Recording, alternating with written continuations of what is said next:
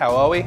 I'm Dylan. Welcome to Get Crafty with Dylan. Today I'm joined by Young Henry's Newtowner Australian Pale Ale. Young Henry's is from Newtown in New South Wales. Let's see what it looks like.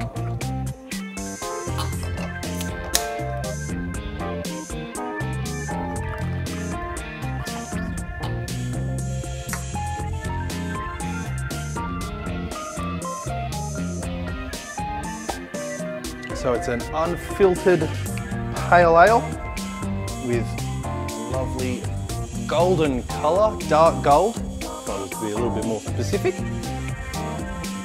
Nice citrus tones. Mm, smells delicious. Let's see what it tastes like.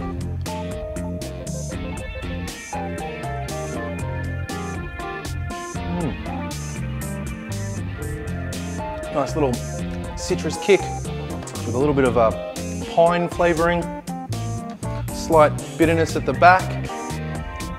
Mm, all in all, very enjoyable pale ale.